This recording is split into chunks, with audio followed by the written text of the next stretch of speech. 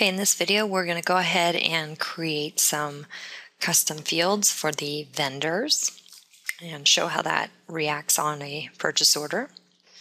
So I'm going to go into my vendor center here and I can choose any of my vendors. Go ahead and double click on one of them. And I go to the additional information tab and I click on define fields down here under custom fields. So I pull that up. You can see I have a couple of custom fields that we already did on the customer examples. but I'm going to do a vendor one now. So we're going to say purchasing agent. All right. And it's for on a vendor list. I'm going to make it any text for now. And I'm not going to require it on anything. Okay. Actually, we'll require it on a transaction so you can see how that reacts. Okay, so the define field is in there. Okay, I'm going to go back to my home screen. Now I go over to the purchase orders and I have my purchase order template pulled up here. On the vendor side of things, the only template that you really have is your purchase order template anyway. So that's the only thing that could be customized with this information. So I'm going to click on customize and customize data layout. And notice down here I have my purchasing agent field that I can add to the uh, purchase order here, my template. So I'm going to go ahead and add it. Okay, notice it adds in its default black, so I want to go to my basic customization. Select the color scheme of blue, which I have for everything else, and apply my color scheme there. Okay, and I'm going to save the rest just as is. All right, so we're going to go ahead in here and create a purchase order.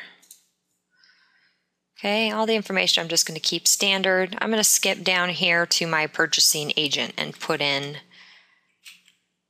uh, let's say, Sally Joe. Okay, choose what we're purchasing, flooring at a rate of $50 and quantity of 100 and customer. Okay, so we're just going to purchase some floor, flooring to put in the warehouse. All right, so I'm going to say save and close on this purchase order. Okay, now note when I create a bill for this purchase order, you're not going to see any of the information. So we're going to go ahead and receive inventory with a bill from CU Electric telling me I have open purchase orders. I'm going to choose that purchase order I just created. Now notice that that field does not flow through to the bill. Okay, bills cannot have custom fields because they're not printable. But what you can do is you can always show the PO here so you can pull it up and see the purchasing agent. All right. So I just wanted to make sure that that is clear.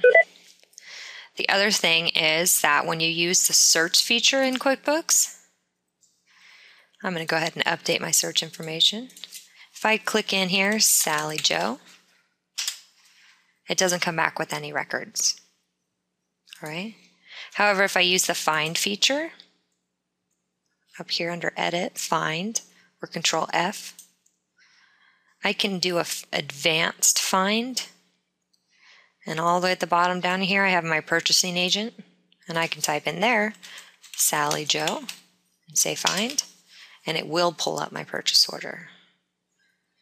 An important thing to note there too is if I type Sally Joe lowercase, let's go ahead and reset it. It'll still find it there.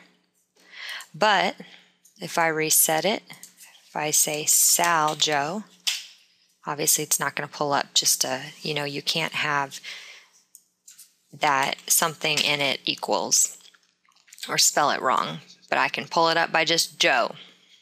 All right. So I'm going to go ahead and close out of this. The other thing that you can do in the vendor center too is, again, if you fill in the additional information field, Sally Joe here, uh, that is a searchable field up top here.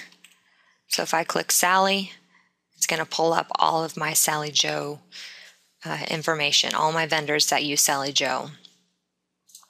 Okay. So that is creating a custom field in the vendor center.